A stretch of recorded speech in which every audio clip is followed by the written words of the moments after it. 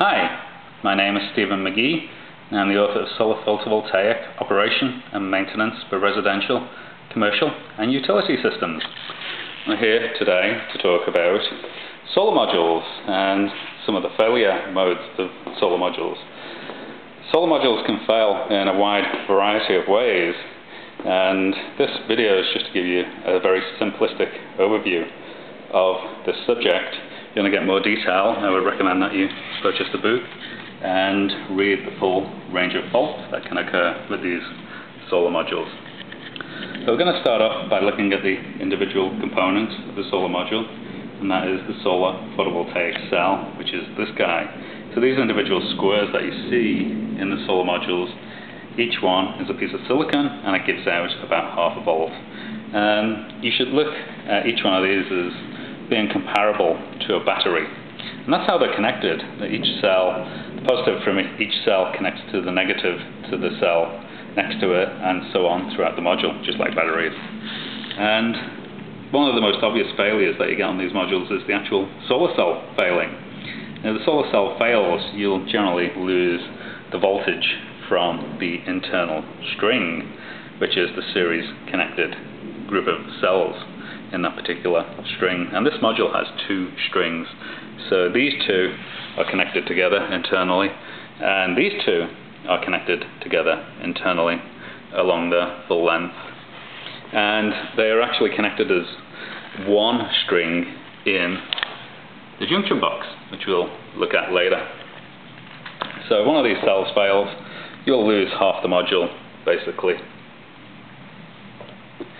So another failure that occurs is these, what are called bus bars, these two are actually the same voltage and they actually connect together through these little internal lines that you see that bring out the voltage to the bus bars and connect on to the back of the cell next to it. And what happens is, if they're poorly soldered, you'll start to get hot spots. And that hot spot, when it gets hot enough, may actually shatter the glass in front of it. And you get a characteristic breakage effect known as the butterfly effect. And that is discussed in the book. If you want to know what that looks like, it's actually in the book that I recommend that you have a read of. Uh, another fault that you get occurs right here, and this is where the positive and negative of the adjacent solar cells connects together.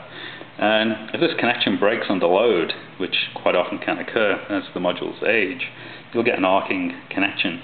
And that arcing connection will be just like an arc welder. You'll see it flashing away if you're around it. And if you come to the module after an arcing connection, you'll generally find that the glass is broken. And also, this backing sheet is also damaged. You'll see a hot spot on there.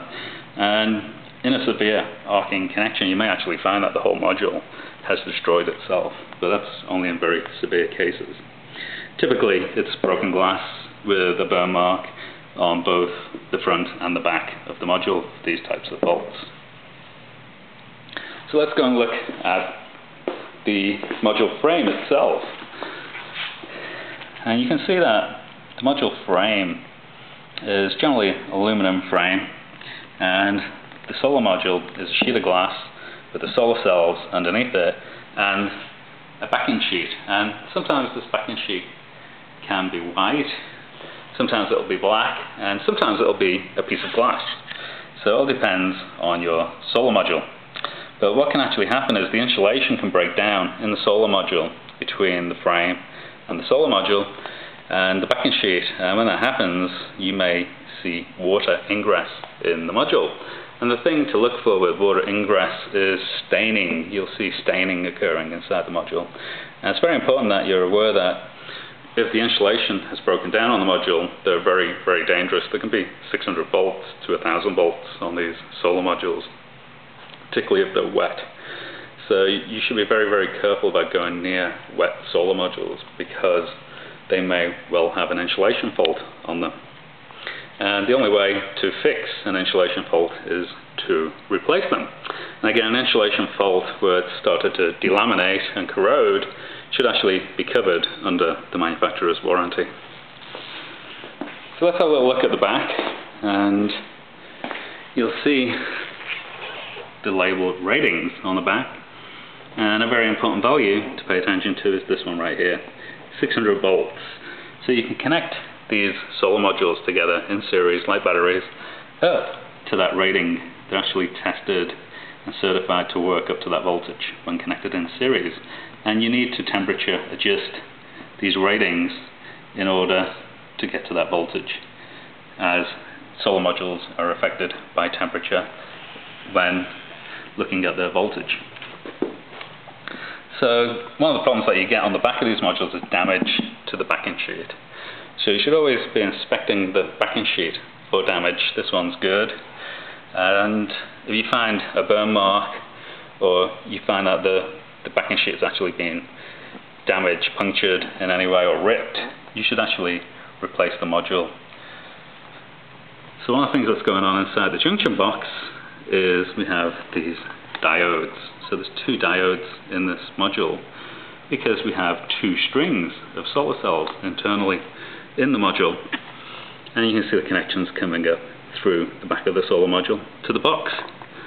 And something to pay attention to is whether they're actually physically damaged. And these ones are good. But they can actually fail in open or short circuit. Now, they quite often will fail in a burned mode, so you may actually see them charred. Uh, if they've got very hot, they may have actually damaged the junction box. And in that case, they should actually be returned to the manufacturer for repair. And if they do actually fail internally, it's probably covered under warranty, so you should speak with the manufacturer. So there's some faults that you get on these solar modules. I hope you enjoyed this presentation, and if you wish to find out more about the faults that you'll find on solar photovoltaic modules, it's in my book. I wish you the very best of health, and I hope you enjoyed this presentation. Thank you.